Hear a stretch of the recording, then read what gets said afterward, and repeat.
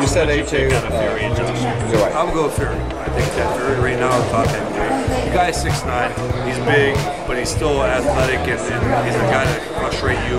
Um, I think jo- uh, Wilder was more of a threat to Fury than Joshua would be.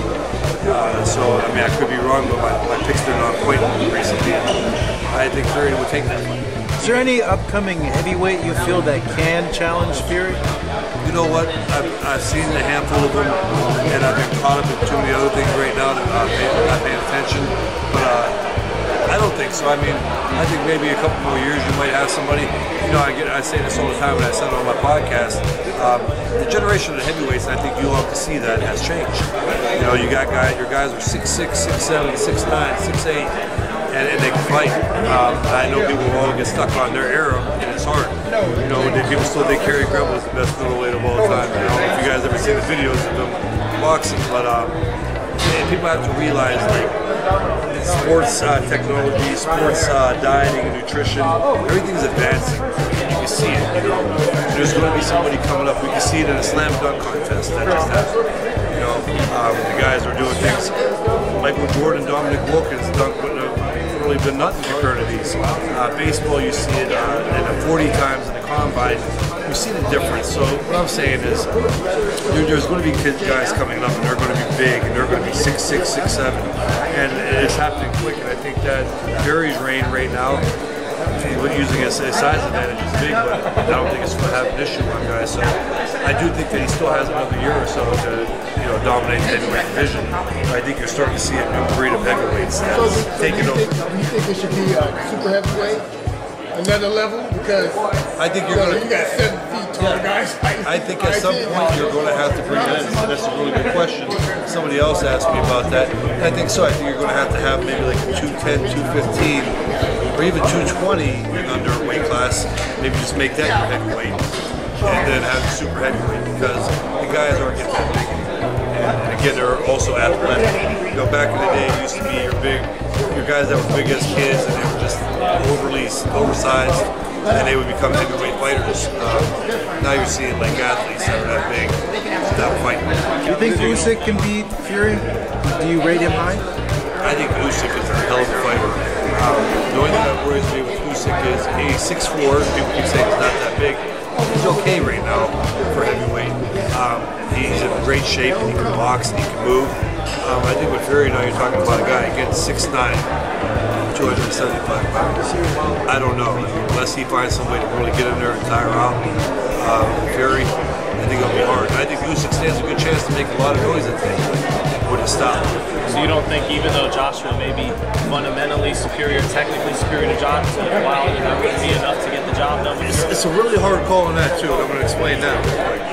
Joshua, before I thought he was too genetically, he's already big as it is, but I think his strength and uh, conditioning uh, workouts, I thought he was too muscular, and we've seen that he got tired quick in a lot of his fights, and it takes a lot more oxygen and blood to get to the muscles to keep him going. And, I, and we've seen him with Klitschko, even though he won, Klitschko was a little older and whatnot, but uh, you see him get muscle work. And then that second rematch with Ruiz, I kept saying, if he gets a strength and conditioning trainer, comes in and finds another way to get him in shape and strong without the muscle size, he'll be fine. And guess what? He looked good. He looked good in that fight. He didn't get tired. And, uh, Too tentative? Yeah, and he, he took some mass down. You know, it wasn't as big. He didn't gas out.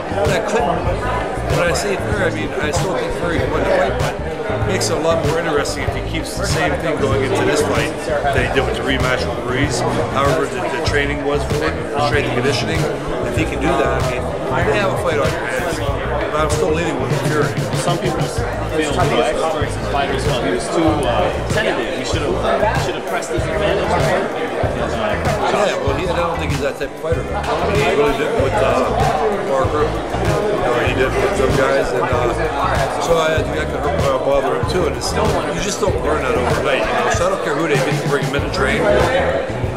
You, you get a trainer that comes in on a where it's already established. Usually they're sharpen his style. You know, we're not there to change it. We tried. We seen it with Buddy McGirt and uh, Gatti. Gatti came out boxing, but you see what happened. As soon as Gatti got hit, all that shit went out the window. Everything he learned went out the window, and it was boxing. So, same thing. I mean, I, I don't know if he's tentative. He's going to be that type of fighter. Probably. I think that's going to be the thing that sets him back against the guy like that. Kelly, what do you think about? Just, just Canelo. Go. I was gonna say Canelo versus uh, Billy Joe Saunders. It seems like that's gonna be the fight. You know, your former, or well, the division right above your former division, 168. What, what do you think about that fight? How does that fight play out? I got Canelo. I mean, listen, people knock. Canelo can go out and knock out uh, the Incredible Hulk, and somebody will come in there and be like, "Well, the Incredible Hulk was just off that night," you know. the, the kid don't. Guys like that, like Crawford, don't get the credit. Um, Canelo don't get the credit that they deserve. And it seems like anymore this day and age, nobody's going to get it. Somebody is going to hop on the boxing sites and whatnot and talk shit. Excuse my language, but it's this the way it is. Um, I think Canelo, he's he, just go back, look at his resume, the guys he fought. He, he deserves what he gets the credit. And I think Billy Joe Saunders is a dangerous fight, but I'm still leaning with Canelo. I think the style that Saunders is going to fight is going to play right into Canelo. You know, especially the body attack and everything else that Canelo does. I think it's a big opportunity and a big fight, and I think Canelo wins it. People look at the Lara fight though, and they said that style should give should give Canelo problems. No, I think I think Billy Joe Saunders fights tries to fight like uh, Sergio Martinez. It's the same exact style. I don't think he's good at it though. You know, um, sluggish in his last fight. Fights like that against against uh, Canelo? I think it would be a, a fast night. Who's who's Kelly Pavlik's uh, like top three pound for pound? up in the air now, and I'm going to explain this. If Lomachenko goes in and, and beats Teofimo like he did uh, Rigo, guys like that, it's hard not to have him number one. You got guys like Crawford, who right now Crawford is he's up there right at number one. So you can one, two, three, and Canelo.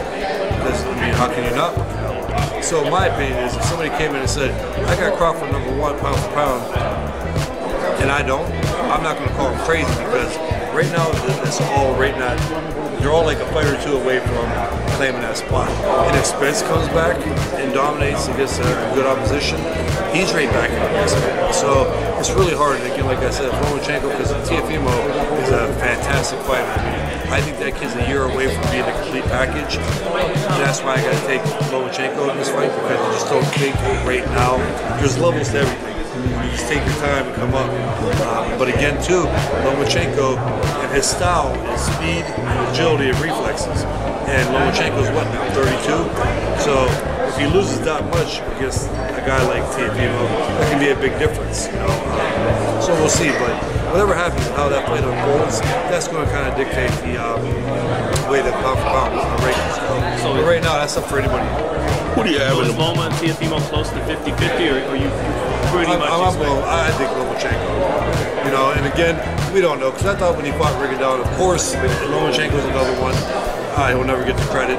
I thought that was going to be a great fight. I truly did. I thought it was going to be a, a chess match, and he went there and no Moschenko. You know, What about the Mo Hooker and uh, Regis Prograis? Who do you have out of that one? Maurice Hooker and uh, Regis Prograis. Well, you know what?